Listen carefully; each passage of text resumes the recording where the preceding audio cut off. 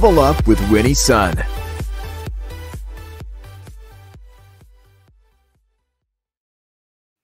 Well, hello, hello. Thank you so much for tuning in. Happy Tuesday to you, wherever you're joining us from. In fact, I love to hear where you're joining us from. So if you're watching us live, do know this is an interactive program. So don't be shy. Go in comments. Let me know where you're joining us from. I already see Joshua. I see CrossX Spider joining from YouTube. It's wonderful to have all of you here. Happy Tuesday indeed. And if you're joining us on the replay, a big welcome to you as well. And I want to say a special welcome to my friends at Modern Mom.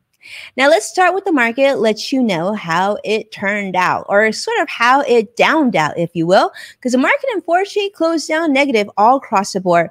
The Dow Jones closed down 107 points. We don't like that. Nasdaq closed down 55 points as well. S&P down 15. You know, it's big earnings season right now. So we're going to see more companies uh, reporting earnings. However, the weakness today, sort of a teeter totter effect, and sort of pulled down at the end, was mostly because of continued concerns regarding the one and only inflation. So, as you know, inflation numbers continue to be creeping up, and yet the government continues to tell us not to worry so much, that this is temporary. But since we're in the middle of a pandemic, things always feel a little bit longer than normal. So the Labor Department did report and the consumer price index once again rising once again now at 0.09% now as you know over last year the consumer price index was over 5.4% certainly exceeding the almost 5% number that analysts were looking at. So things are certainly getting more expensive. What do we do There'll be more to talk about as we talk about more of these topics throughout the week here. But today we have a very special guest. I'm so excited. It's been a while, right, that I brought in a guest for you. But let me tell you, she's someone that I, I would say yes to having her on the show every week if we were, because she's literally one of my most favorite people. I've learned so much. I've benefited so much from knowing her. You know, when you talk about the importance of having that that powerful circle, your mentorship circle, people that you can trust, that you can go to for more knowledge. She's definitely at the top here. So let me introduce Deirdre Breakenridge to you. You even met her before. She's CEO at Pure Performance Communication. Deirdre, how are you, my friend? I'm doing well, Winnie. How are you? Well, I'm doing great now that you're here, for sure. Thank you. Thank you so much for having me on your show. It is always an honor to have you. For those of you who aren't familiar with Deirdre, let's just say she is a powerhouse. She's a career long storyteller and media expert. She strategizes with brands all over. You may have seen some of her work with JVC, with Kraft, with NASDAQ, NBA events. So, you know, just the NBA and, and so many other organizations. She's also the author of one, two, three, four, five, six, seven, seven business books. And these are not just regular books, my friends. She's taught PR, social media courses for uh, NYU, UMass, Rutgers, all these prominent universities, as well as LinkedIn Learning, and even more. I haven't even named all of them. But she also is host of the very popular podcast, Women Worldwide, which is, you know, just about nearing just a measly 2 million downloads, 2 million with a big MM. That's right, my friends. This is a big deal. So I want to say hello to you, Deirdre. And, and a lot of our friends are here. The one and only Evan Wick, who we adore. I love uh, Evan. love you. And you are joining us from across the pond, he says, as you know, our friends in Europe. Uh, we have CrossX5, we have Robin Stevens as well. By the way, gotta say a big shout out and love to Robin Stevens. actually brought us together, connected us uh, years ago. So wonderful, wonderful. Wendy, thank you so much. I know you're a big fan of Deirdre's as well. Thank you so much for being here. Now, let's have some fun because not everybody knows what we're talking about today, Deirdre, but it's a really important topic. But I thought we would have a lot of fun to kind of let everybody get in on the conversation. And so, those of you who are joining us live, you know, we're going live on uh, over eight different platforms today. And uh, as you know, then uh, we have full episodes also on NASDAQ, Amazon Fire, and Roku. But today's topic is critical and it's a big one, and you're going to love it. But I want to invite you to participate in this process. We've got two marketing trivia questions to share with all of you, and we'll see how many of you can help Deirdre get through this process. So here's the first question How many people do you think read online reviews before making a purchase? All right. Now, some of you are like, well, I read reviews for everything. Or some of you are like, oh, I don't trust those reviews. I don't know if they're real or they're fake or whatnot. So do you think it's 62%, 70%, which is B, 93%, 49%, or 8%? Okay, so Robin Stevens, I see gives a big strong B there, 70%. All right. Um, I want to see how you participate because it's really good. You're going to help Deirdre out because we're going to ask her. But I have a feeling she knows. I have a feeling she knows because this is something that she teaches on as well. Um, Deirdre, do you have a feeling? Do you is your gut in one direction or another? So my gut is with Robin, B, 70%. So Evan is also saying B as well. Mm-hmm. Okay, Suzanne Brown, who we also adore, mom empowerment, and also an, a very prominent um, author as well. She's also saying it's B. All right, so I think Deirdre, you want to stick with B? Is that your final yep. answer? final right. answer. Final answer. Okay, we have uh, Joshua Crossex Fighter is also giving us a B. Now it seems like unanimous. Everybody's saying B. Well, believe it or not, the answer is C. It's 93%. Wow. So for businesses and companies and individuals, if you're working on branding, working on marketing, what it is that you do, you got to recognize how important these online reviews are. 93%. That's almost that's like a, if you're in school, that's a solid A, right? That's that's report card A. That's a big deal. Um, I don't know. You're a professor. You're if, if your student gets a 93%, is that an A? Yes, that is uh, either an A or an A minus. I forget. 90 to 93 could have been an A minus. Okay. Okay. Well, let's just pretend today we'll give you all A's, even though you got the B. We, we're close enough, right? Right. All right. Exactly. Let's, let's see our second question. Now, this is a good one too, and that is how many people? This is specific to people ages between 18 and 24, which I believe are um, millennials, uh, feel that online reviews are as trustworthy as a personal recommendation from a friend or someone you know.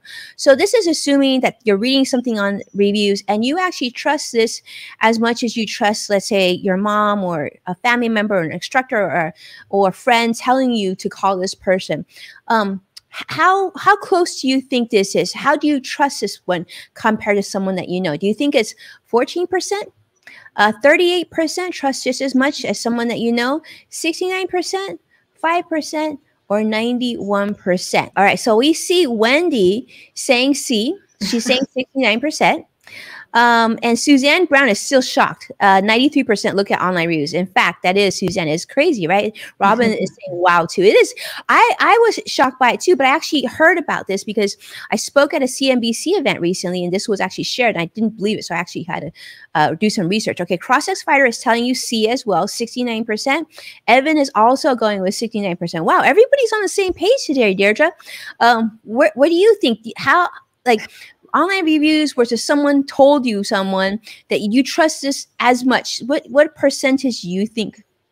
C 69% 69% wow. Okay so everybody's on the same page. Robin stevens also saying c 69% that's a big number but believe it or not the number is actually e ah. 91% 91%. So this is really interesting because that's saying that like for that next generation, 18 to 24, right, which I believe is uh, millennials, and then beyond that, which will be Gen Zers, they find online reviews as trustworthy, almost right, 91%. That's the definitely A minus there.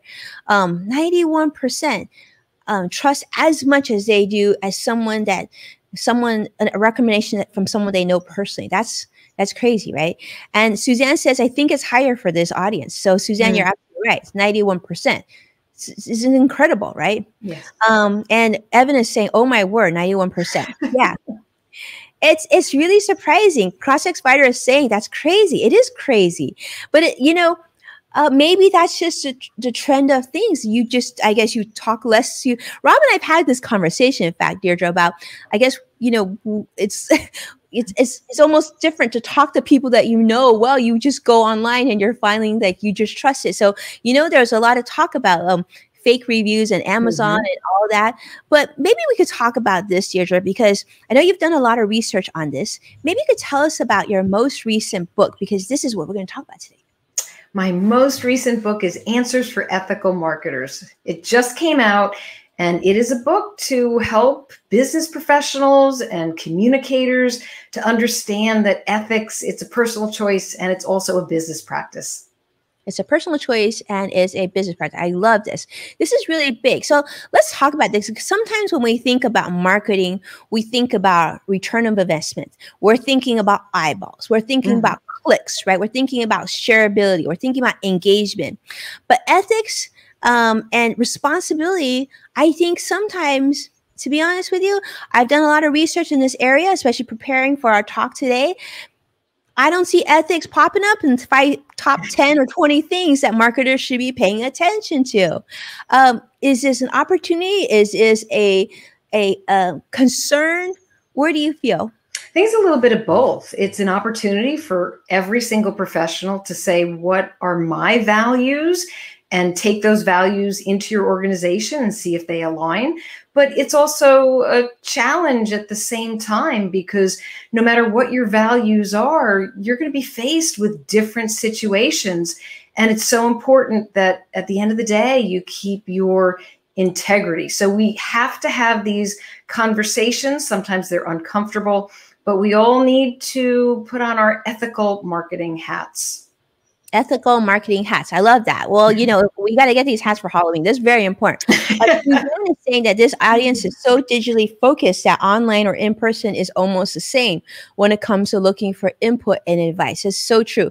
And Robin Stevens has seen your book and she says, excellent book, really a must read. Thank I think you. it's such an important read. And I'm really glad because I'm going to guess um, Deirdre, because you you wrote this book, and I know many of your books are used as textbooks on the college level. This is important, right? Because as we talked about earlier, when we're talking about marketing, we're talking about businesses, we're talking about B2B, even B2C, even. Oftentimes, we're forgetting the importance of ethical marketing. Um, I think if anything has taught us during this pandemic is these are the things that we maybe need to take a closer look on and, and pay a little bit more attention to. And I know you and I have talked, had discussions on this topic already, but you know, we we also saw a recent study on Forbes, which Forbes actually shared the stat that 86% of consumers want companies to stand for something. Yeah. Right? Um, so when you think about an ethical marketer, Deirdre, um, who is the ethical marketer? Well, it's interesting because my definition changed as I progressed in my career. When I was early in PR and marketing, we were almost taught that ethical marketers were PR people. We were the conscience of the organization and that it all fell on us. We were the brand police. But in essence, when you think about an organization and the culture and the people and all the voices that make up that organization, there's a responsibility at every single level, every position. So in essence, even though PR people and marketers have to be ethical marketers, everybody in the company is an ethical marketer as they lend their voice and share about their companies. I love that. And it's interesting that you said that, you know, um, publicists or PR professionals have always sort of been a place where you could go when you trust that the information that they're going to give you about their client or their connection is is real and relevant and and, and, and a fact, right? And in today's day where information travels so quickly, we mm-hmm. read and hear something on TikTok, right? We see something on TikTok, we read see something on YouTube. It all of a sudden becomes there's so many different platforms to share content, and it's hard to sometimes identify what's truly ethical and what's truly not. And you said we all have a responsibility. That's critical, and that's that's a really good point. And I think many of us would agree. The last uh, you know the last two years have taught us the importance of truth in mm-hmm. marketing and, and let's just say news and everything else right? Um, you know it's really interesting because we also saw that you know the majority of workers in fact uh, like 94% said it's critical or important that a company that they work for is ethical. But you also talked about the importance of the employees. Everybody that represents your company should be ethical. So how do we like how do we make sure that that stays true right? Like obviously easier to do like my companies there's 10 of us so and i know everybody very very very very well and we talk regularly so i feel very confident that everyone's very ethical and um, very truthful and just good people good people down to the core. But how do you do that when your entity is like a 6000 person 10000 or larger? How, how do you navigate so that your marketing because you know your representation of the company so therefore you're a marketer of your company how do we ensure that this occurs Well, it gets harder as the company gets bigger. And often, often smaller companies, they're in the best position to build in the foundation of the values and the ethics. And no matter the size of the company, it has to go beyond a plaque on a wall. it has to go beyond what's in your handbook or what you post in your uh, online repositories. Ethics have to be demonstrated. And that's where leaders, it's so important for them to show it. If if the company stands for respect and has patience and truth and accuracy, if anyone, including leaders who are role models, are out there getting frustrated, not showing respect in their communication, they're embellishing what they're sharing and being called out, that goes against everything that stands for the values of the company. So I think being a role model from the top down is very important and getting beyond just the words and showing what ethical conduct really is. Yeah, what ethical conduct really means. That's huge. I see Suzanne Brown saying she's joining us on LinkedIn today. So huge welcome, Suzanne. And she's saying such an important topic, especially for marketers, because younger consumers, especially, really care about the ethics for brands that they buy. And you're absolutely right, Suzanne. You know, I think, you know, when you read Deirdre's um, book, you'll see this as well. And we read this in statistics that people do care. They want that um, that level of trust that they can have. I guess that's a key word is trust. So let me ask you this: What does it mean to bring ethics and values to media interviews? Right? I know many people know that you and I do a plenty of media interviews, and a lot of our friends are powerhouses in PR and and you know news and, and whatnot. So how does one do this? So that's a really good question because mostly when you're showing up to an interview, you want to bring the information that you can share that is helpful. You're you're trying to serve an audience out there through whatever media outlet. And what ends up happening is that if you're not prepared for the interview, if you're feeling especially stressed, if you're not present, sometimes that's when you share what you regret later. I often find that it's the pressure, it's not clarity in thinking that can get executives into trouble. It's remembering that you might have to take a pause, that there are things that you might not be able to answer, that you can get back to somebody on. And it's that pressure of the situation that you have to be ready for and to be able to maneuver and speak on the topics that you're you should share and to know what you should avoid because you don't want to cause any harm to your audience or, or anybody who's watching and listening. And and winnie you you know as a financial professional that you have to make sure that you say and you do certain things and to always always help your audience when you're interviewing I love that. Always help their your audience. That's that is so true because you want to help them learn and give them information, but you got to make sure what you're sharing is uh, honest and, and in someone's best interest. And I love Absolutely. you say that. You know, there's certain industries like you talked about, like the financial industry. I know the medical industry as well. We are legally uh, reg- highly regulated, and we have legal ramifications to things if we we don't um, we aren't careful. We don't do things in the best interest of those that we speak of. And and I think although it can be frustrating sometimes because there's so many levels of scrutiny, but it's it's definitely for the greater good long term. I love that. So, you know, Evan, who's joining us from Facebook, is saying, indeed, lead by example. And that's mm. so true, Evan.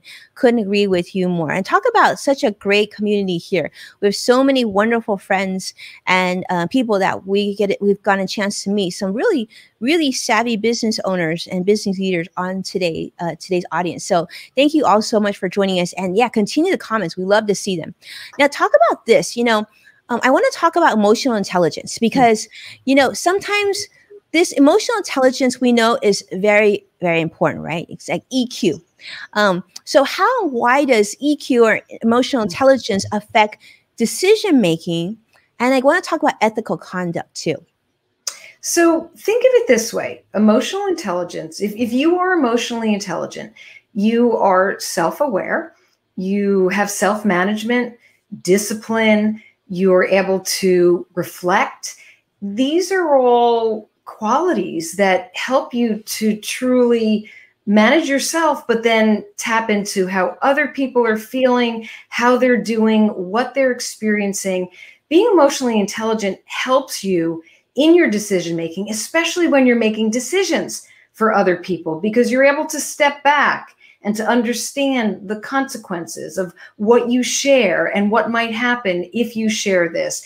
It allows you to often take that pause that is so needed before something goes out that you might regret later. It doesn't mean that uh, some people might be more emotionally intelligent. Maybe somebody isn't emotionally intelligent. They can still be ethical, they can still have values. It's the EQ part that helps even more. That, that's really interesting because I know you and I actually participated in a chat that you led, and um, I remember uh, I think she was an attorney on yes, Sheila, Sheila Murphy, right? And she said, you know, I don't feel like someone needs to have really high EQ to be highly ethical, and I thought it was a really interesting point. Um, but let's talk about that a little bit, right? Not everybody is born with a lot of EQ, right? And not everybody perhaps um, was um, taught or in an environment where they were they learned to build up their EQ. Um, but you know, can an adult start to change this? And how important is the connection between EQ and ethical standards, right? Can I mean we know that like Sheila's example was that you don't have to be both to be able you know, be ethical. Uh, but but I think most of us would agree when you're empathetic, right? And you're um, and you have high EQ, you tend to see things from the other person's standpoint. So there's a higher likelihood that you would be ethical. Is do you think that's accurate? I do think that's accurate. I'll go to the first part of your question about how you can change.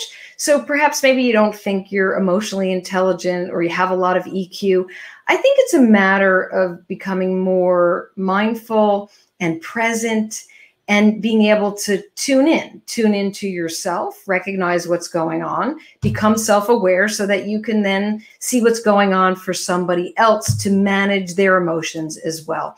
As you do this, it, it does become a part of your decision making process. When you're making a decision, you want to take into account the people that you're serving. So yes, it's you work for an organization. You might have a, a board and uh, stockholders or shareholders.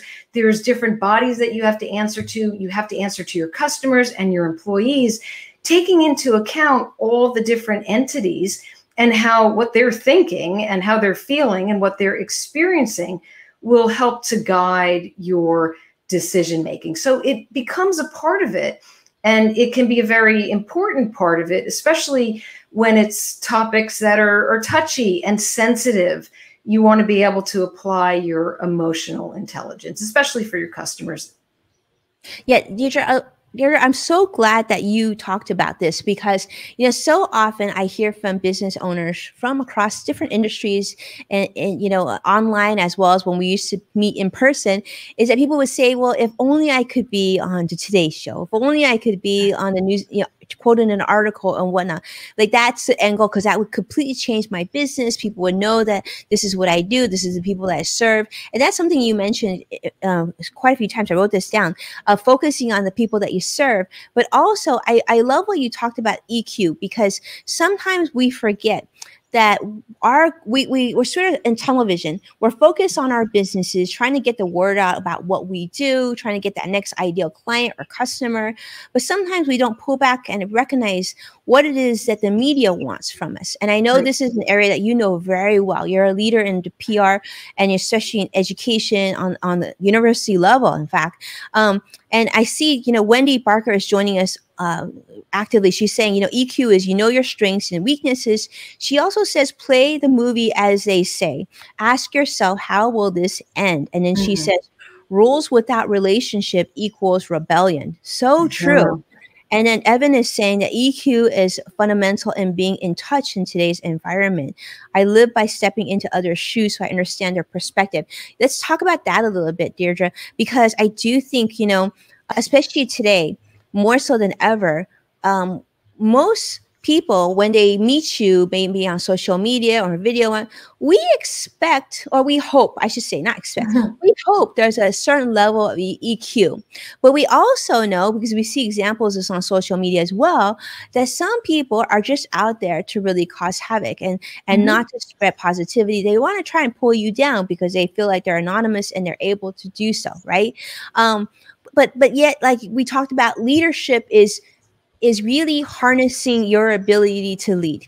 And uh, we know that you know 36% of people who were surveyed recently have even said that they would consider leaving their job if they disagreed with a company's ethical standards for doing business. So, what I would love to hear from you, because we talked about media, we talked about marketing a little bit, but let's talk about leadership within the, the business. How can leaders be better ethical role models? What are, what are some of your tips on that? Well, I think they have to be self reflective to really take a look at there, there's conversations going on every single day. They're out there in the media, they're in front of their customers, let's say. At the end of the day, what happened? How how did things play out? What do you feel proud of? What do you wish you didn't say or didn't do? What do you need to address? The next day. Just that self reflective piece on, on the whole emotional intelligence package, let's say. I often find that uh, leaders focus on yes i'm aware yes i'm present i can manage my emotions I, I, am disciplined they leave off that that reflective part that is such a key part because if you can be reflective then you can go back and possibly fix something that needs to be fixed quickly, or you can know steps to make something better. You can be a stronger role model and you can set a better example. So I would say the self reflection is such an important part of this. Yeah, I love that. And I want to say a big welcome to Sadiq is joining us and Paul Hari. Paul actually is making some great points. I did want to put these out. So he's saying hello to both of us. He's saying uh, using one's EQ within the core values of the company to keep using EQ for good. That mm-hmm. is so true, right? Using EQ for good. And it's sometimes we recognize that this is how I, in an ideal world, we'd have more of this. I think we're seeing that now. We're seeing in Iceland, people are testing the four day work week. It's not just mm, about right. reducing workload, but it's prioritizing your employees' needs, right? Personal mm-hmm. needs of that work life balance. We're seeing now that in, in Spain and Japan and Sweden of saying, you know what, can we can we make it a four day work week give everybody an extra day for their own for just for their mental and their physical any anything that's important to them is really interesting. So I, I think this is this is a great topic, and I and I want to invite all of you who are joining us. Um, if you want to learn more about this, uh, Deirdre has a brand new book out that we shared earlier in the show. We'll make sure to share that again later on. But you know, um, she also has a really prominent website. Not only that, I talked about earlier, really successful um, podcast, and so you definitely want to check that out. But um, Let's Wait, one, one more thing I want to add on the note of leaders. And just because you mentioned the four day work week, taking into consideration different generations in the organization, I think leaders have to be a lot more open and being open and inclusive and having people feel like they belong and also open to conversations about different things that are going on within the organization or within the news or what's affecting their industry. Sometimes conversations are tough, but leaders need to surround themselves with people who can give them expertise and they have to be open to it and not have knee jerk reactions and to question things, to be more curious and to ask those questions and to learn more. You don't want a bunch of yes people around you uh, because when you have yes people, then you might have some ethical issues down the road. Absolutely, and I love this. I know I know we talked about um, ethics GPS, and I love this. And I will tell you, um, I've uh, I've run a, a different companies uh, last you know since since I was a, kid. As I've run and started many businesses, and I think one of the things that I'm most grateful for is when you have employees, when you have a smaller team, like Deirdre has said, the bigger their team, the harder this gets. But when you have a smaller team, whether it be three people, ten people, I think at some point uh, when I was working in television, I was managing teams around thirty. You know, some people. The key thing is like in your heart you got to really pay attention to those signals. When you say like you know what? I, I just feel like there's something off with her or something off with him. I feel like i need to pull him aside. And have a conversation and make sure she's okay. You just want to tap in. Maybe she's like i'm feeling some vibes like but it's when you when you when you feel those signals and you take action on them and then you try to learn more right with a very open mind it's so meaningful. And to take those uh, the most important thing is don't dismiss those little feelings. And I remember uh, uh, one of my business partners previously has says, you know, the problem with you Winnie is you care too much about how people feel. And I said, well, then let that be my biggest weakness, right? So through the years, you you learn that you know sometimes you can't solve anyone everyone's problem, but you can certainly be there to try to let them get them to express what's going on so that you can at least listen. You can't necessarily solve the problem, but you can listen and see and be there for them. Because I think oftentimes as adults, we just we're so focused on the bottom line. We're so focused on making sure that we answer that question during that live interview. Make sure everything's perfect. But we forget that there could be little signals that we're missing. And those little signals are the most important part of everything that you do. It's your reputation, it's how you are as a person, it's your relationships. I get told this all the time like, wow, your team's incredible. Yeah, the team is incredible. It's absolutely true. But if I don't recognize how incredible they are, will they still be incredible? They will. They'll just be incredible for somebody else who will notice how incredible they are. um, so, Deirdre, I mean, I, am so grateful for this conversation because I think sometimes, especially now during the pandemic, many of us are working from home. Mm-hmm. It's making so that it's easy to not hone in on those little signals, right? It's easy to forget about those little things, but the little things are actually the big things. And sometimes the big things are actually the little things, right? Absolutely. You're talking about the ethics GPS and every single person has this inner GPS inside of them. And I think it's been tough, Winnie, because of COVID and everything that's been going on. I mean, think about it a pandemic, there's the racial violence. We've been through a really chaotic election and start to a presidency. This has us all distracted. There's so much with news and social media. When all this is happening, all that distraction takes you away from tuning into those gut feelings. They are naturally there, they are with you. To be quiet is to pick up on signals and you have to trust yourself. That's the other thing. I there's so many times earlier in my career when I had really strong signals about a business deal, a potential client, things that I went ahead with that turned out to go really wrong and I didn't trust that GPS. But it is difficult to tune in when it's so loud and noisy around us.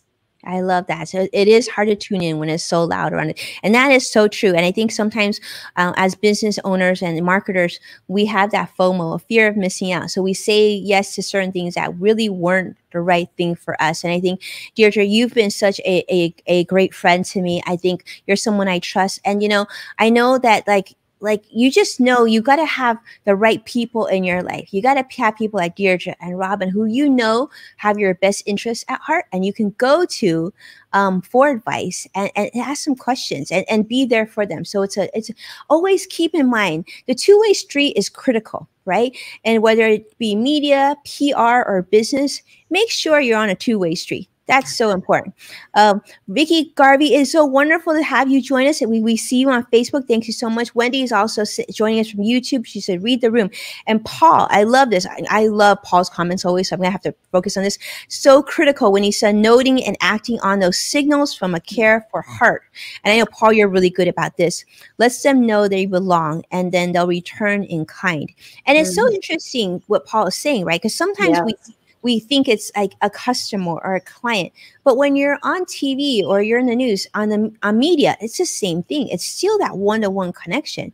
You just happen to have maybe a bigger distribution channel, but you're still there trying to connect with that one person. So absolutely. Um, Deirdre, this is so powerful. And I and I'm grateful that you know you sent me this goodie because I take notes in it. This there's so many good things in, in in what that you do and i can i'm so grateful because you are leading the next generation. You're teaching this at some of the most prominent universities in the country about this very important topic and it's just not about marketing it's about social media it's not about branding it's about you know creating more and more engagement and just more amplification but it's getting down to the core of that's great you have all these tools to move you from here to there but don't forget what something that's probably the most important is your core ethics mm-hmm. and that mm-hmm. you're doing thing what's right and from the heart and make sure like you have the right you're sharing the right message for the right reasons so and this is all about trust it's all about having trust and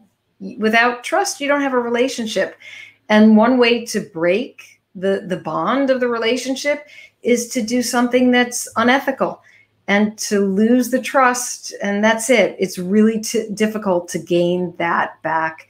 So i i always say that every single professional going into an organization do a 30 second test.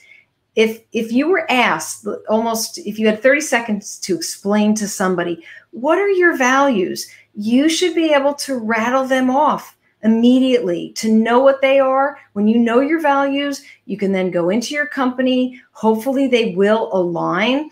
And that's when you can step back and say, Whoa, that's not my personal values or my company's. Let's not go down this road. Let's challenge this. Let's question it. Let's find another way. Let's find another way words of wisdom right there. Like we always say, people over profits, please. Let's yes, focus please. on that. It's a beautiful thing. I trust me. It does work. I'm proof of it. People over profits. It will make your soul feel so good. You will feel happy, happier, and it'll give you a, a greater purpose. And and with with greater purpose and happiness, trust me, the income will come, right? Uh, Evan is saying so true. Thank you so much, my friend. Well, let's have some fun. We couldn't have Deirdre here and not have some fun with her, right? So we've invited her. Let's do a speed round. I know Joshua loves our speed round. Let's do it.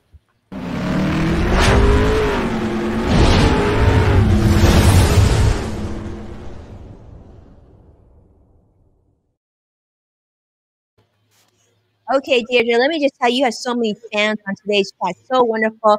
Uh, Paul here saying, love that, love that, love it. We do love you so much. Deirdre. Oh, thank you. First question. You're an author of seven successful business books that are also taught on the university level. And you're a hugely successful podcaster, almost 2 million million downloads. Let me ask you this. I'm really curious if you could invite any person living or who's passed uh, today uh, on your show or just to meet, who would you love to get on your show? Steve Jobs. Steve Jobs. Okay, yeah. tell us why. Well, I've been sort of studying uh, great communicators. And I mean, Steve Jobs was a, a, great communicator, a motivator. His speech when he was announcing the iPod internally was brilliant but also just what he's done in terms of technology and where he took us with with Apple is absolutely amazing. And that is somebody I just like to pick his brain, see the way his mind works and and hear from him a little bit about his journey and to get advice from Steve Jobs would have been amazing. and maybe you would be able maybe you consult with you and get advice from you too because i can see you being quite a powerful well, ally you. for apple for sure. Yes absolutely you. well let's talk about this uh, deirdre. So you've traveled and spoken at so many different events. This is question two um, what's on your bucket list next? I mean where would you like to go? Um, what would you like to do next? So I'd like to do a world speaking tour about feel, which is my communications model, getting uh, professionals to understand the importance of facing fears, being open and inclusive, to engage with empathy, to use ethics and good judgment, and to unleash their love. Because when they can feel first, they have a better chance of tuning into how others are feeling and building a relationship. So whether it's Asia or Australia or different parts of Europe, that's what I'd like to do. I love it. I love it. Well, I think everybody would benefit from learning from you.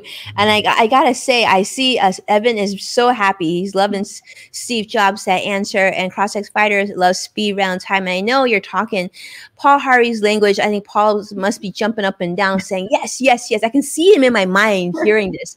But this is so powerful. I'm so glad and grateful that you could be here and share this with us today, Deirdre. But one thing I want to know is where can people go? Where do you want to send them to learn more? Number one, more about you and also the good work that you're doing. And where should they do, go to connect? Well, thank you. Thank you so much. And I'm so grateful, Winnie, for all that you do. And if people want to connect with me, they can go to deirdrebreakenridge.com. There's an area on my site. It's a DIY resources site. You'll see all of my books. You'll also see my LinkedIn learning courses. And of course, connect with me on LinkedIn. I'm also on Twitter. I'm at D Breakenridge, and I love having conversations there. So I think those are the best places those are good places and i'm also going to plug myself that she's also got amazing podcasts so if you want to she's also her podcasts are great to play in the car or just to get you motivated because i know you you interview a lot of very very important business leaders so thank you so much for doing what you do and i just want to publicly say how much I appreciate you as a friend, and you've always been so supportive through the years. And I feel like I just feel immensely grateful to have you in my life. So, well, I hope to you. Absolutely. Well, thank you all so much. Thank you so much, Paul, Evan, Vicky, Ev, um, you know, Joshua, everybody, Robin, for being here. I see so many of you. The numbers keep on coming in. Thank you so many of you for being here on the show. Thank you so much for those who are watching us on the replay. And as a reminder, you know, do me a favor, share this show with those that you care about. So share it on your social media channels so we can get more people thinking about ethical marketing. And don't forget, great book you know, Deirdre has this brand new book. Definitely check it out. I think you're going to be finding it really helpful. A lot of lot of case studies and suggestions and things for really not only are they good for your business, but also for that next media opportunity that you have too, because she has so much, she's done so much work in the area of public relations. And with that, you can find full episodes of Level Up with Winnie Sun, as you know, on NASDAQ, Amazon Fire, and Roku. So we are so excited to see you again very soon. But with that, that. Thank you so much, Deirdre. Any last words?